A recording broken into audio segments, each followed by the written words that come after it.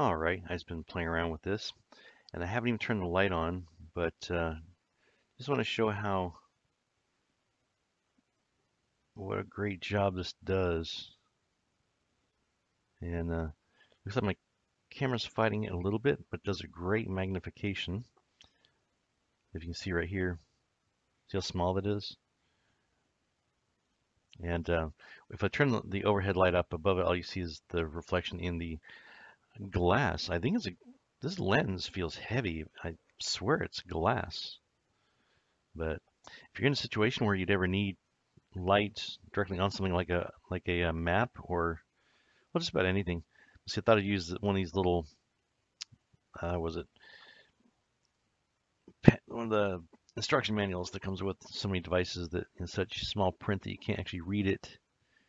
If you could read it, you'd realize that it's in terrible English, but see, but you're able to see right there, and it's getting slightly distorted from my camera. My camera's starting to try to focus on the um, glass itself, not what's behind it. So, yeah, it's a really strong, really heavy, just runs on two AAA batteries and it's doing a great job.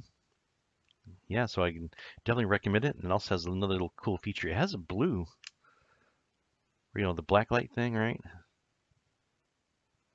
So my uh, niece likes to write secret messages or whatever. I don't have one with me there, but she'll write like letters.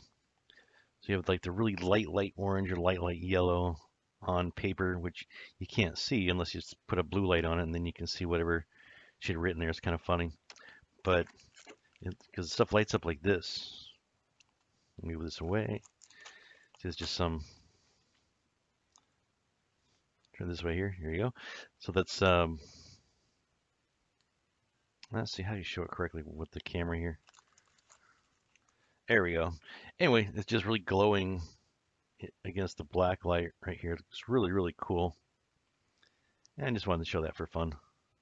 But yeah, so as far as what I think of it is, yeah, it's a nice, it's a nice uh, heavy, this isn't some cheap piece of plastic, that's for sure. It's heavy. I swear this feels like glass, or if, it's not glass, it's a really amazing plastic.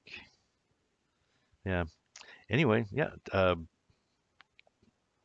two thumbs up, like five and a half stars. I this is awesome, and I know exactly right where I'm going to be putting it. But uh, yeah, it just it's a bit larger than I thought. I have like normal size hands, right? And uh, yeah, notice how it almost looks like a tennis racket or ping pong racket in this case. It almost like, looks like one of those.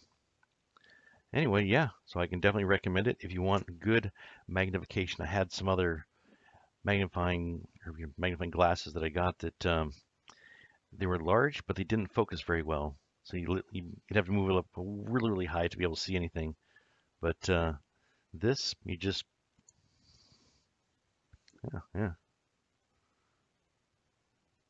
Yeah. It's a good one.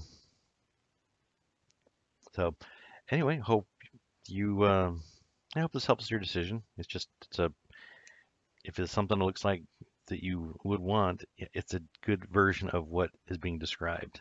Sometimes what they describe what you get seems a little different, but now this fits the bill, what it tells you it is. So heavy, solid, and, and that was only two AAA batteries.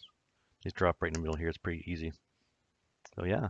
Anyway, yeah, two thumbs up, five stars. Thanks.